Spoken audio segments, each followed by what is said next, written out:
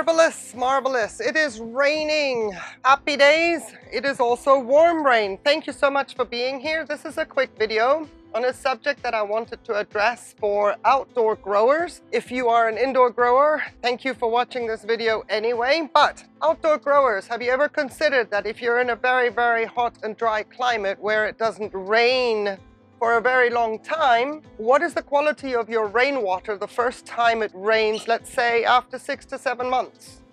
It could be acidic, and usually it is very, very acidic in comparison to the rain that comes after the first shower, which is much, much cleaner. When we've had temperatures, high temperatures, and no rain for a considerable amount of time, there is a lot of matter, debris, dust, and everything in the air that comes down with the first rainfall. And that rain is very, very welcome to nature as such. But for orchids, it could pose a problem if that is the only thing that we get and then don't do anything about it. Our orchids prefer to have 5.8 to 6.5 pH because of the nutrition uptake. They can take up to 7 and a little bit more. If it's just plain water, usually rainwater is around the 6.8 to the 7.2 mark. But if you were to take out, yes, that was a flash of lightning, but if you were to take out, for example, your first bucket of rain so I'll just wait for the thunder, the beauty of editing.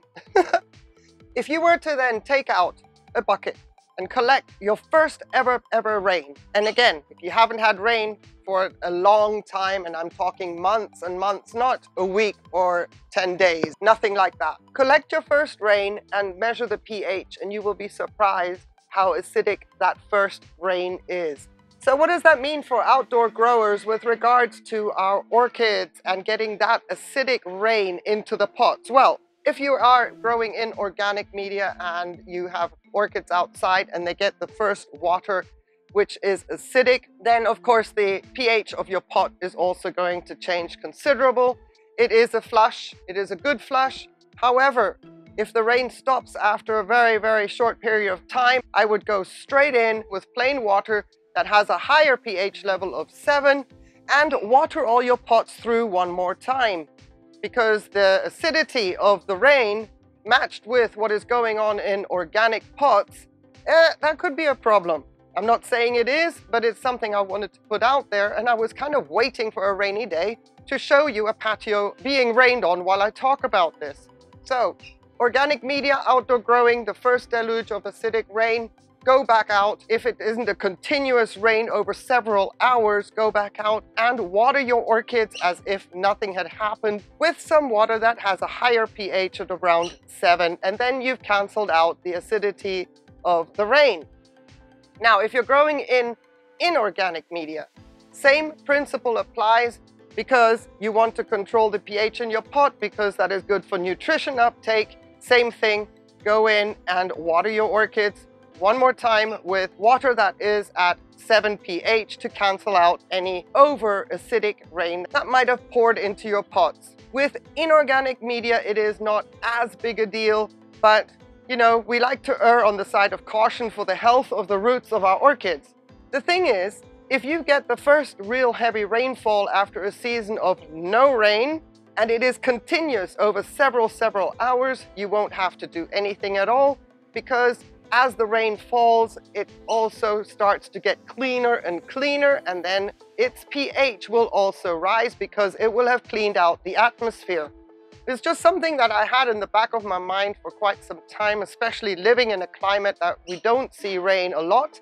And in my climate, we don't usually see rain when it's warm enough for me to have my orchids outdoors. This is special. This is amazing. This for me is paradise at the moment.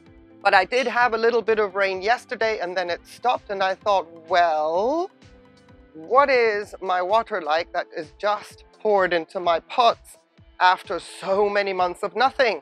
And even though I didn't measure it, I know from back in the day in my previous growing environment, same principle applied with organic media and I lost roots back then. So here I am just putting it out there on a very, very rainy day that now is pouring clean rain water after it has rained all night. Just a little heads up, and I wonder if you've ever thought the same if you grow outdoors and allow your orchids to get rained on. If you're living in a climate where there is no rain for six to seven months. I wonder if that is something that you think of and what is it that you do or do you even do anything at all?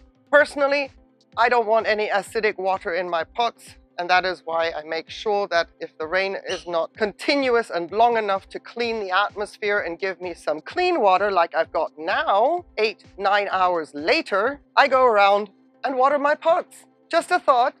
Let me know in the comments below what you think about this. Do you even think about this? Does it even matter? It's just a thought, and I wanted a rainy day to bring it to you and see what conversation we can have out of this one. Really appreciate your time. Quick vid, but hey, food for thought. Have a wonderful day. Thank you so much for watching. Please stay safe and take care. Bye.